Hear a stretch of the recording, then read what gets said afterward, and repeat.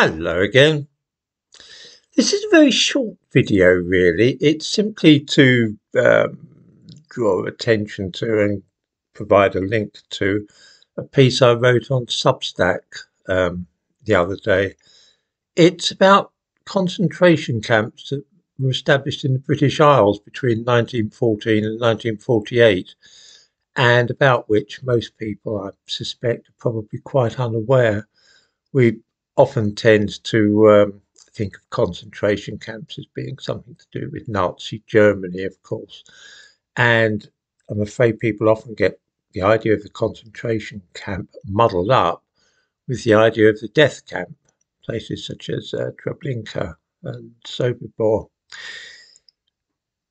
I just thought it would be interesting to think a little about the fact that for much of the 20th century, there were concentration camps in Britain being operated by the British and the Polish. It's a, how can I put it? It's a little aspect of history which has been overlooked, I suppose. Anyway, in the description to the video, I give a link to this Substack uh, piece, and I think that most viewers will probably find it quite interesting.